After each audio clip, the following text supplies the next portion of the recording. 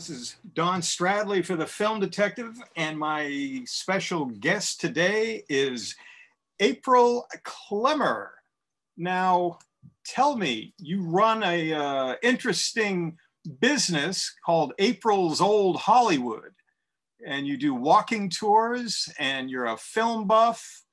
Uh, tell me, uh, tell me about it. I think it's something that uh, Film Detective viewers uh, would, would love to hear about, especially if they're ever in California. They, they'd love to uh, uh, see what you have to offer.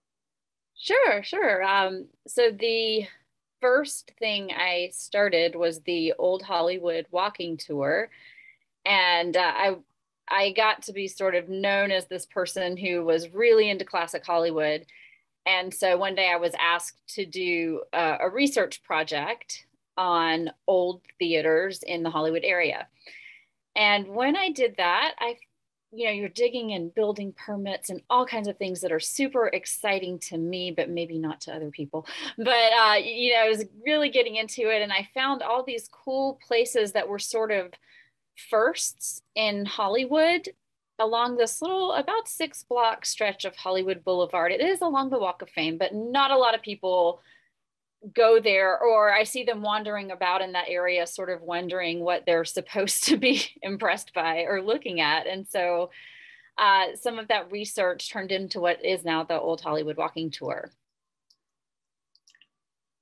And generally, how, how long is a, a, a walking tour? Do, do you take these people out for a couple of hours or how, how, long does it last? And and what what kind of, of things will they see on this walking tour?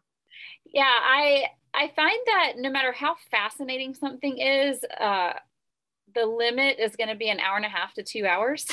So i i try to keep uh, the just regular old hollywood walking tour under uh, and it's around an hour to an hour and a half just depending on the speed of the group and uh, for private tours, sometimes I'll extend that out if there are other things they're interested in. That can be a little longer, but really, I think the limit of any tour um, that's a walking tour should be a couple of hours.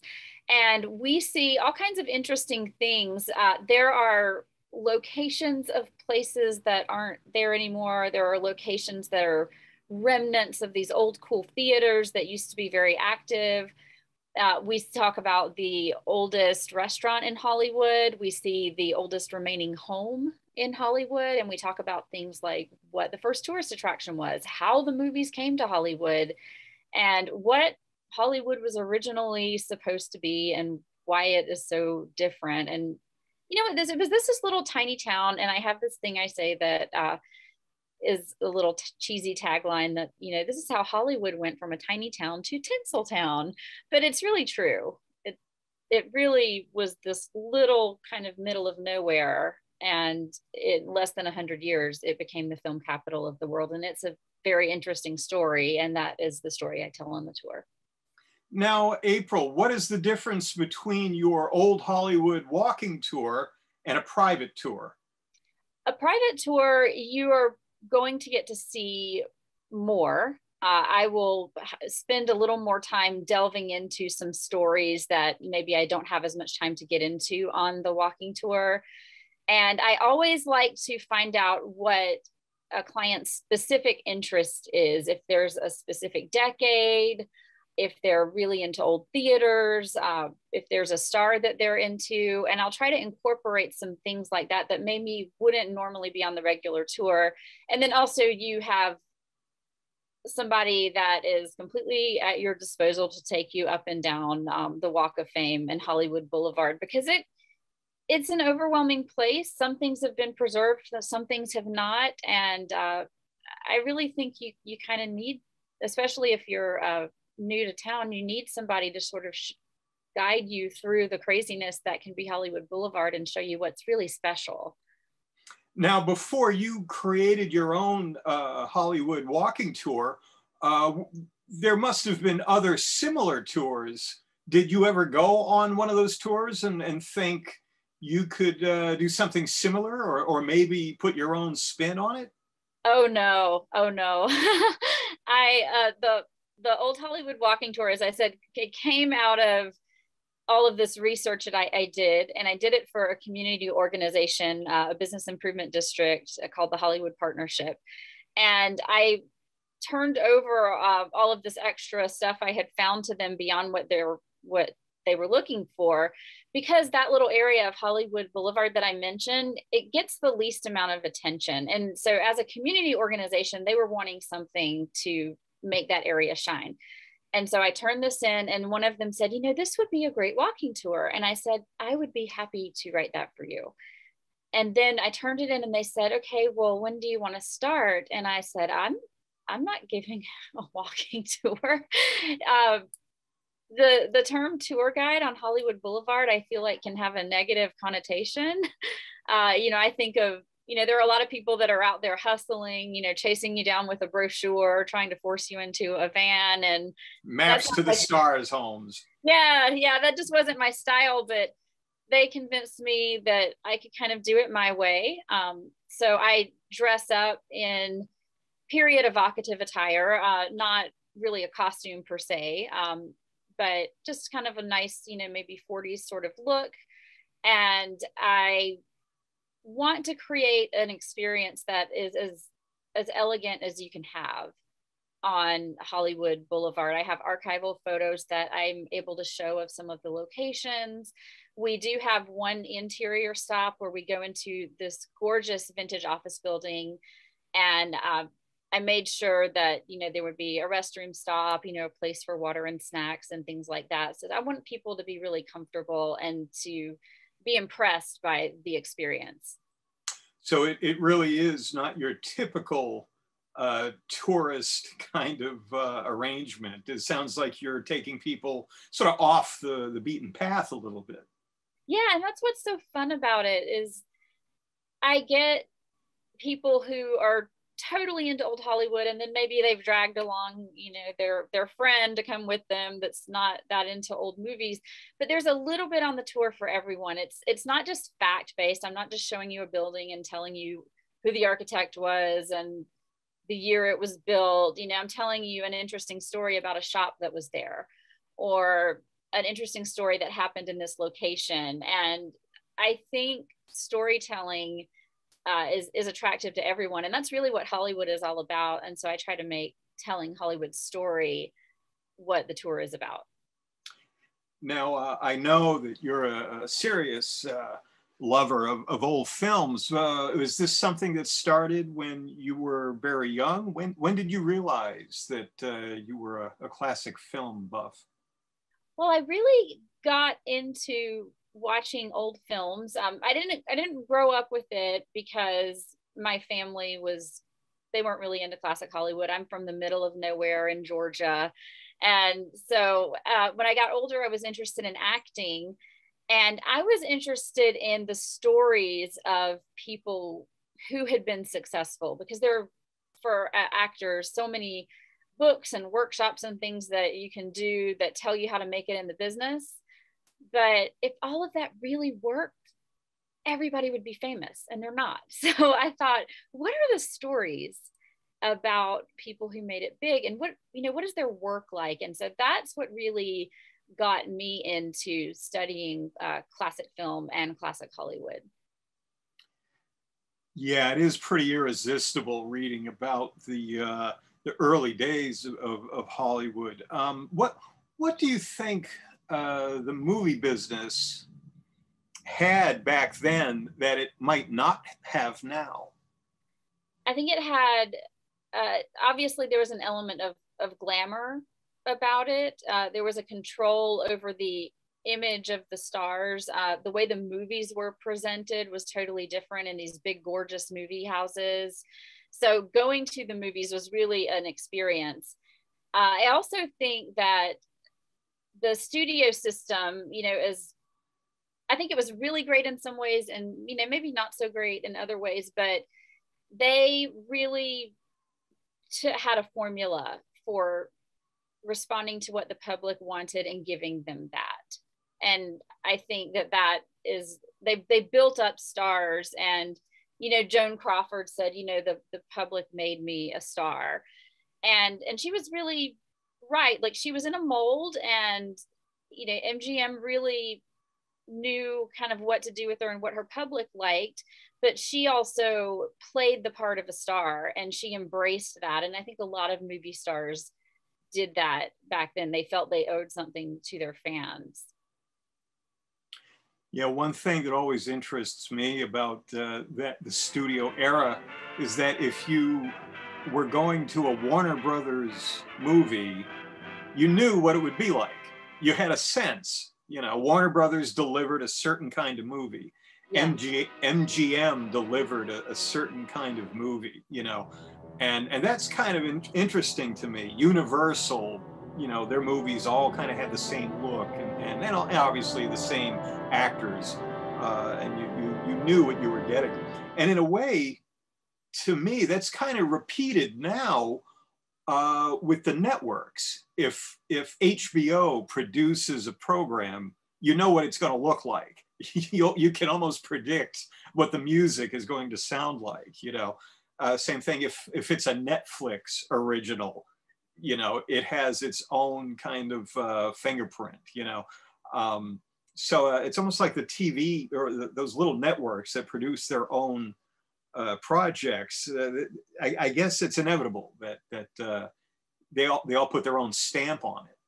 Um, yeah, and I think too, like that with along with the point that you're making, um, those there's some variety there.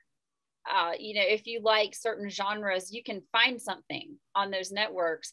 And I'm not sure movies on the big screen offer that kind of variety in the same way today. So I think people are going to streaming services more for that now. Another thing that's kind of interesting about that old studio system is that you would loan out uh, one of your stars. You know, Richard Widmark is on loan from Fox. You know, and he's making a movie for another studio. And in a way, that was uh, that was news. That was publicity. You know, mm-hmm. um, and that that was kind of intriguing to me as well. Um, on, on your tour, do you ever uh, touch on any of the uh, the darker aspects of Hollywood? Any of that Hollywood Babylon type of uh, crime and murder? Any any anything like that, or do you just stick to the the glamour and and the fun stuff? I I like to say I stick to the truth and keep it as accurate as possible, but it does. Uh, there's really not that much on the tour that's dark and okay. and, and negative um, I save really in depth exploration of, of topics like that for uh, something I do, um, which is more the April's Old Hollywood thing that I mentioned. I need to find a name and just combine the Old Hollywood Walking Tour with this other thing.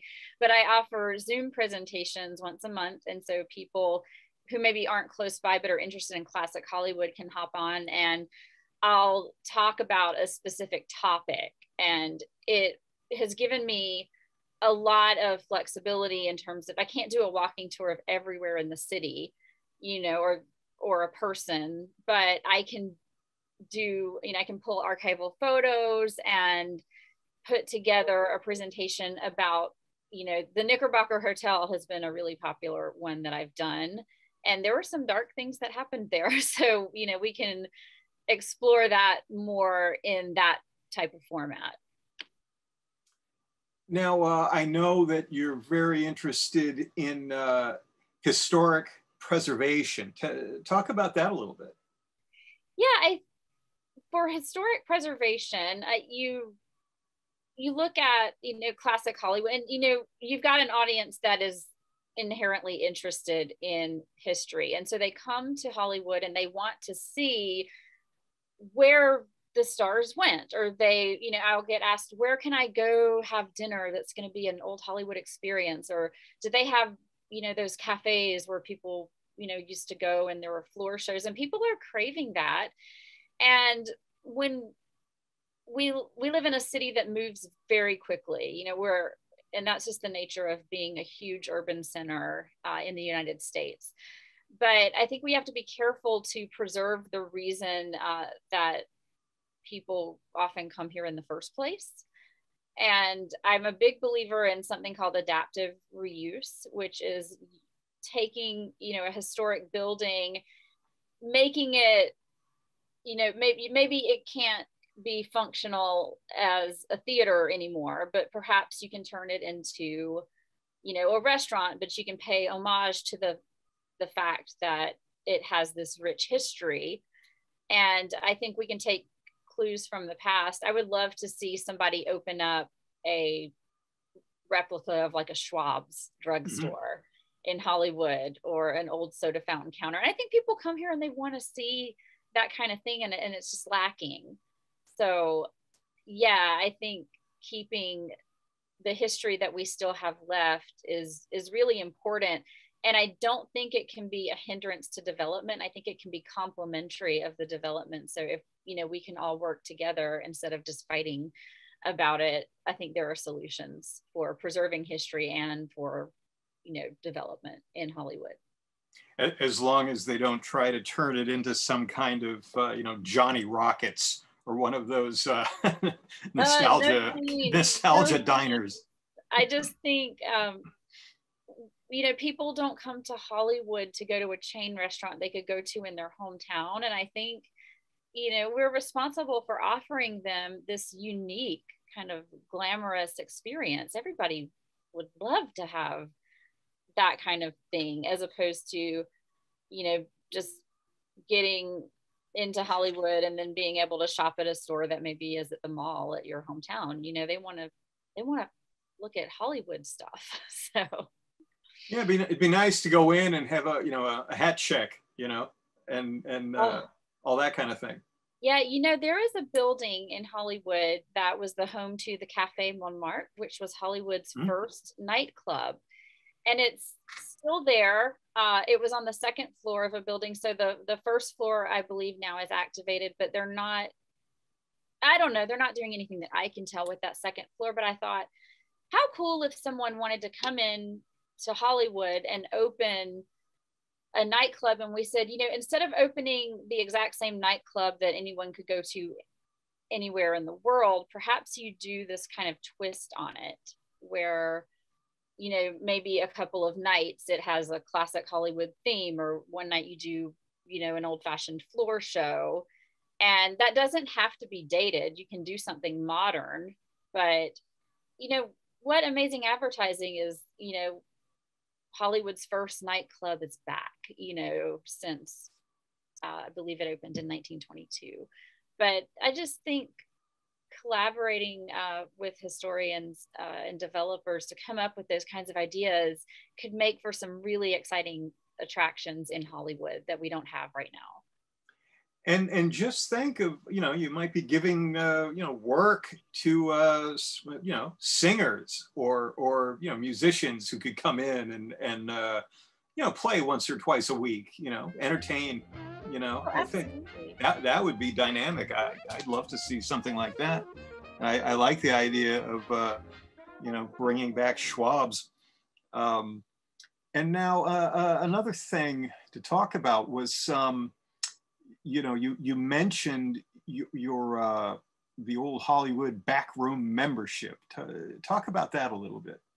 Yeah, so that came. Uh, it was kind of a, a COVID silver lining, if you will. Uh, when I when the COVID started, I couldn't give in person tours. And so that's where the idea to do these different presentations on Zoom came from. And I did the tour presentation a couple of times and I realized some of the same people were showing up, but maybe I should change up the subject. So for them to keep coming back. And I did, and I would see the same names signing up. And I thought, who are these people? Like, I want to talk to them. I want to get to know them. They're interested in the same thing that I'm interested in. And, you know, there's only so much I can tell my friends and family about old Hollywood before their eyes glaze over. So I thought I would really get to know these people. And so I hosted a couple of virtual cocktail hours just to kind of test the waters and see if it's something people would be interested in and ultimately created this membership. And it's a way for classic hollywood fans to connect with each other. They uh, they have access to anything that i do and then i do some special things for them a couple of times a month where maybe we'll have an author on or somebody connected with classic hollywood and have a chat. Uh, I might do a special presentation that's just for them. Um, we've done a few in-person things, but really the membership, um, I want it to be open to everyone. I don't want it to just be bound by, you know, living in Los Angeles because a lot of people don't live close by or maybe, you know, can't get out here for an in-person social, but we can, we've done a lot of fun things on Zoom. I know people, everybody says people are zoomed out or sick of it, but when it's the right crowd, I think it can be a lot of fun. Yeah, I think Zoom is here to stay.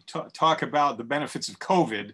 Uh, uh, now, uh, for these virtual events that you host, uh, how can someone get involved in that? Can they contact you through your website, aprilclemmer.com? Yes, they can uh, go to the website and uh, there's a way to contact me there. Um, my email is april at aprilclemmer.com. So it's just my name, Clemmer spelled with a C. And then my uh, social media handles are all April's Hollywood. So you can send me a DM there. Uh, so lots of different ways to to get in touch with me, but uh, April's Hollywood on social media is pretty good. And then your email, I always love to get emails from people. Well, I'll send you one.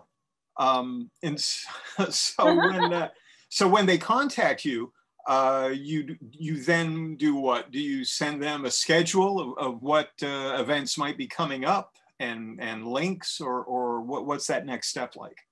Yeah, I would I would just respond back, and you know if they mention something specific in their email that they're interested in, I would send them links for that um, or whatever information that they were asking for. But yeah, probably in the form of a link so they could go ahead and you know read about the next event see if it's something they want to be a part of and uh, get registered for that.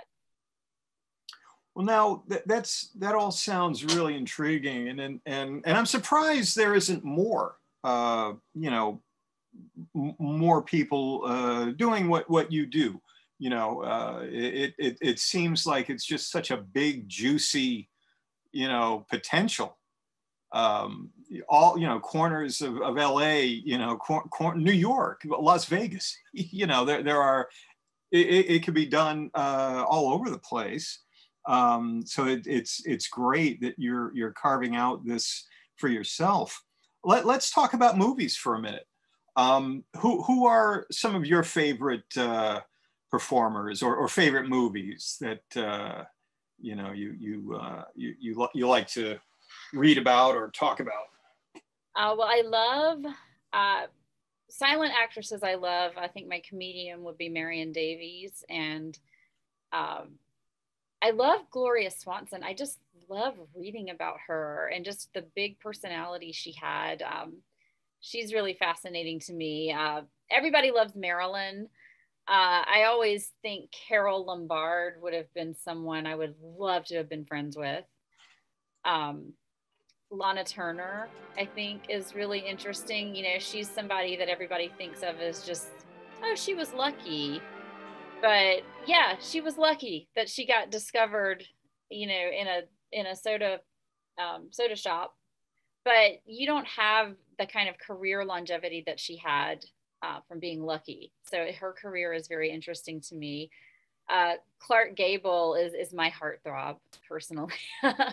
so a lot of movies connected with them, and I can't not mention Jean Harlow. Mm-hmm. She's so wonderful and, and so natural in her films. And those are films that I can watch over and over again. And they just warm my heart and make me feel good. Interesting that you mentioned uh, Gloria Swanson. Uh, there are so many interesting clips of her on the Dick Cavett show. Yes. on on uh, on YouTube and and uh, she just looks like this tiny little um, uh, almost uh, uh, steely like, like there's something about her it looks like she's made of steel you know um, very, very tough but not you know not not uh, in an obvious way um, but I, am intrigued by gloria swanson too uh, the, the, obviously sunset boulevard was the movie that I, I knew from before I knew her, I knew that movie, you know, because uh, it was such a, a, late night kind of classic. Um, but over the years, I, I started uh, learning more about her. I, I, I, know what you mean. She is intriguing. Um, and especially that so many of her films have been lost. Yeah, and that breaks my heart about so many people. You know, you think about uh, Theda Bara, mm. and you know, there's almost nothing to watch. You know, and yeah, you you just have to go by the still photos, and and, and I, assume that you know she really was the vamp. yeah, and and I know, uh, you know, for me, Valentino, I think, is so much better to watch in a film. Like you really get his appeal watching him in motion more than you do in a still. So for Theda Bara, yeah, I always think about, you know, we kind of miss what the audiences got to see that made her so appealing during that time period. Yeah, there, there was a great book about Theda Bara uh, a few years ago. I don't know if you've ever uh, had a chance to read it, but uh, it was a pretty well pretty thorough uh, book. Maybe 10 or 12 years ago it came out, and I, I, can't think of the author's name. I have one called Vamp. I think that's probably it with the, with the great cover. Yeah, uh, yeah. For, all in black, I think. Um, but yeah, she it made her out to sound like she was a bit mystified by uh, some of the attention or all of the attention, you know. Um, but she was uh, she was a real interesting character. I always said that there was, you know, occasionally they make movies about uh, the old stars. You know, they, they've they've recycled the Bette Davis, Joan Crawford oh, story. And and and uh, you know, every so often they, they do a Marilyn Monroe movie or something, a Lucille Ball, and I'm thinking, you know, the Vamp. We we, we need to see the uh, the Theda Bara story brought brought back. Um, but it would be difficult, but it'd be interesting. Yeah, well, there's so much good stuff in that story. You know, she's this kind of regular girl from Ohio that somehow gets a gets a contract and they create this whole identity for her and just I would love to see the scene that I've read about where she does the big press conference and there's incense burning and it's mm. 100 degrees outside but she's got you know she's draped in velvet and you know they have this whole very exotic scene set and then as soon as it's over i think the last reporter out of the room saw her kind of push through the curtains and run to the window and say god give me some air you know? So just you know watching those people play the roles assigned them in their real life such a great great film premise. Yeah and and uh, yeah what you said is true. Not only were you assigned to play you know cleopatra or, or you were assigned to play the vamp, you're assigned to play Theda Bara. You know, yeah. you, you had to play that role every day. And I, and I think it wore her down. I, I, I think, because uh, uh, her career really petered out kind of quickly, didn't it? Uh, yeah. I, you know, she was really passe, you know, I think even before silents ended yeah, yeah, it might have you know might have been four or five years. Yeah, at, you, know, at, you know where her name really registered a lot, and then and then almost uh, re- really quickly people kind of either she lost interest in, in the business or the public uh, got tired of, of the vamp. Um, yeah, I think she was killed by the flapper. yeah, yeah. There, there seemed to be a big change in movies in the middle of the silent era you know that that period from like 1916 and you can almost uh, measure it by charlie chaplin's career where mm-hmm. you know he started out with very short movies the one reelers and his films got progressively bigger and then everybody was jumping on that bandwagon and all movies started becoming epics you know mm-hmm. um, so I, I, think of the silent era in two two chapters the, the you know that 1916 to 1921 type period. And, and then yeah. from about the time of uh, the kid, what was that, 1920? Um, yeah, yeah. Uh, from the kid to, uh, you know, the jazz singer. That, that That's the second era, you know, where every, things just kept getting bigger and bigger and bigger and, and more, more extravagant. Um, and I think she was part of that first period um, because even her big films were, were smallish in comparison to what was to come. You know, yeah. it was just the, the business was growing in such leaps and bounds. You know, and I think I think uh, maybe maybe the business outgrew her too. Um, but uh, I would I would I don't know who would play her. Um, nobody really looks like her anymore. You know, you, you could dress someone up as the vamp, you know, um, but uh, you know, she had kind of roundish features and, mm-hmm. and, and big big round eyes, and they used to put the a lot of black oh, you know, around her eyes to make them even rounder. You know, um, so she she looked almost like this nocturnal character staring yeah. out. Kiss me, my fool. Yeah, she was something. I, I I enjoy reading about her. You don't get to see much of it, like you said. Um, and and uh, you you also mentioned uh, Clark Gable. Um, what, uh, what what are some of your Clark Gable movies? Do you like the pre-code stuff where he was, you know, a bad boy, or do you like him a little bit older and more sophisticated? Or oh, you know, I love it all. Uh, I think the pre-codes are interesting, particularly that he has a year that he became Clark Gable. You know, most people sort of build and build and, you know, they're a little known before their breakout, but like 1931 was like the year of Clark Gable, you know, and they had paired him with, you know, all of the big leading ladies and he kind of changed the the leading man from more that Valentino Latin lover type to sort of this rough and tumble kind of guy. Yeah, and, he looked. He, Gable looked like his hands were dirty. Yeah. You know, no, no matter what role he was playing, he he could be playing a you know a a politician or, or a newspaper editor. And he looked like he had dirty hands. Yeah. You know? yeah, I love his I love his pairings with um, Jean Harlow. I think that those are some of my favorite Clark Gable films.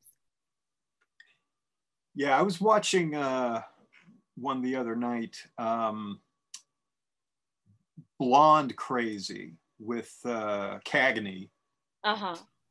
And uh, I, I Joan Blondell, I think, was uh, opposite him. I think. Um, and and I, I, don't know if you're familiar with that movie, but uh, it was interesting because because I think Cagney had already done uh, Public Enemy. Uh-huh. It, came out, it came out the same year. Um, and so I could tell that they were trying to maybe lighten him up a little bit. Mm-hmm. Uh, so he, you know, could be portrayed not just as the scary tough guy, but you know, maybe do some comic type turns. But he was still scary in it.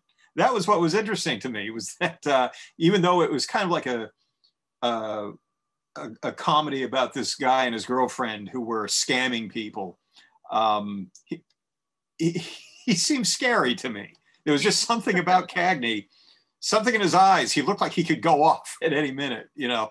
Um, and and I think it took a few years for him to lose that. Uh, I and I maybe he had to be dancing and singing to totally lose, you know, to, to lose that scary side. Um, but uh, I like uh, Barbara Stanwyck too. Uh, uh, oh yeah. Uh, uh, especially when she was really young, doing those almost post flapper type roles. Yeah, yeah, her pre-code stuff is fun to watch. Yeah, and I love uh, I love Fireball, or, or, or Ball of Fire. Yeah. Fireball or Ball of Fire? Ball of Fire. Yeah. Yeah, that's that, that's uh, I, I like that one. Um, it's almost like Snow White and the Seven Dwarfs. you know, she's she, you know, she's the uh, the burlesque dancer who's hiding out in this house full of professors. You know, they very they, they are very much like the Seven Dwarfs. You know, following her around and trying trying to you know look after. I love her. that analogy. and and uh, where do you stand on Gary Cooper? Oh, he's so sexy. He really is. And um, High Noon is uh yeah he he was an he was an interesting character because uh he was uh, almost he started in the silent era didn't he? He, he his first few movies were in the silent period and to me, a lot of his early sound movies, he looks like he's still in a silent movie almost. He's still kind of almost posing, you know, and, and that may have been the director working with him too, because the director directors were still kind of thinking that they were making silent films and they were kind of working in the same, uh, you know, same motions, um, same, same kind of angles, same kind of shots. You had a lot of, uh, a lot of, of uh, Gary Cooper's early sound films where he's almost like a statue. Yeah, he's very much a, a presence. And, yeah. you know, some people can kind of command attention by just their just stillness and it somehow makes you want to watch them you you just wonder what like what's going on under there you know and he's that type of actor for me yeah, on on your on your tours, uh, do do uh, any of the actors that we uh, have been talking about? Do, do you have anything that uh, like? Do you go past? Uh, you know, do you go past Gloria Swanson's house? Do you do anything like that, or, or you know, do, do you go past the uh, the store where Gary Cooper bought his hats, or anything like that? Uh, there's a there's a few little spots. Um, most of it on the uh, regular old Hollywood walking tour have to do with more silent films mm-hmm. because that uh, area where I do the tour was a real hotspot for filming silent films. We also talk about um, Musso and Frank and some of the celebrities that were at that uh, restaurant, which is the oldest one in Hollywood. And on the the private tour or in like an extended version of a tour, uh, we do go by that nightclub that I talked about earlier, where a lot of the stars would go and hang out. And then uh, I try to include the Chinese theater on that mm. extended private tour. And I don't care what you say about stuff in Hollywood being cheesy. The Chinese theater forecourt is just so cool and it never gets old. and I think just standing there and looking at just that that roster and cement of of film greats is always fascinating. Oh, sure, that's iconic. Not nothing cheesy about it. Now, you had mentioned earlier, and I wanted to get back to this. You said something about uh, the first tourist attraction in Hollywood. Uh, can, can you can you tell me what that is?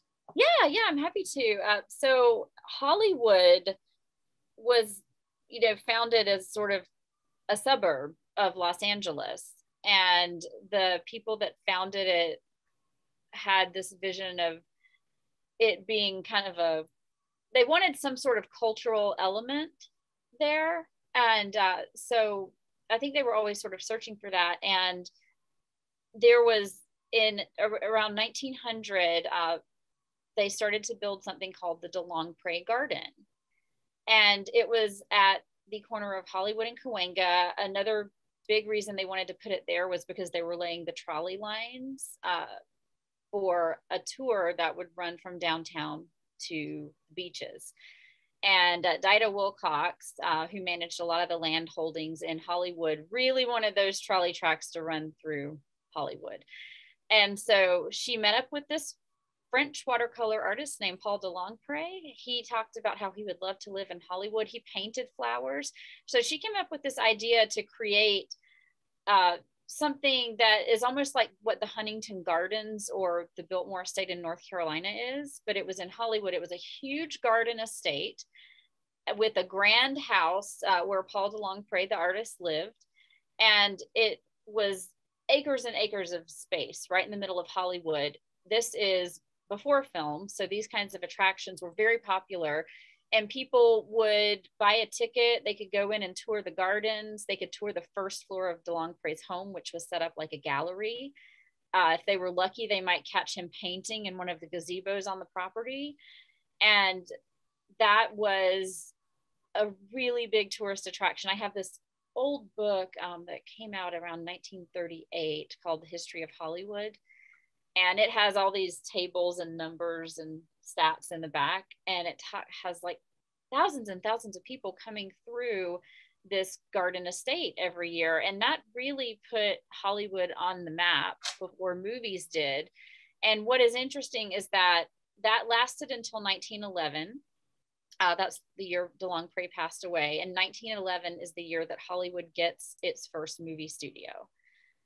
And so it's interesting. It's like Hollywood kind of is this artist town and then he you know 1911 the torch gets passed to like what's going to be the new art form of that century with film. So i love that parallel and that hollywood always kind of had this attraction for artists even before the movies were here. That sounds nice. Now you do you uh, you still have family back in georgia I do, yes. And what, what do they think of this? Do they think, oh, April has gone Hollywood? What, what do they think about these tours? That, oh, they think I'm crazy. but no, my they, my uh, my family is really supportive of the tours. That's something they can understand. I think more so than me just driving across the country to be an actor. I think uh, a tour is it's a business. It's something that exist in other places and not just Hollywood. And so I think that they're a lot more comfortable with me having a tour business than you're, ma- you're making a living. You're pulling your own weight. An honest living. So. oh, well, that's great. Well, we've been on uh, long enough, I think. It's been great talking to you. Anything else you want to share? Anything else? Uh, other ways to contact you? We've got uh, aprilclemmer.com uh, get in touch if you'd like to be involved with uh, April's Old Hollywood Backroom membership, learning about Hollywood and old Hollywood style. Uh, it looks like you're a, you're a, just a wealth of information, and I think your tour is a lot of fun. I'm on the other side of the country, so it's not like I can uh, come out and see it, but it sounds awesome. It really does. Uh, best of luck. Um, thank you for joining us. Thank you. And you having me. Maybe we'll have you on again. You never know.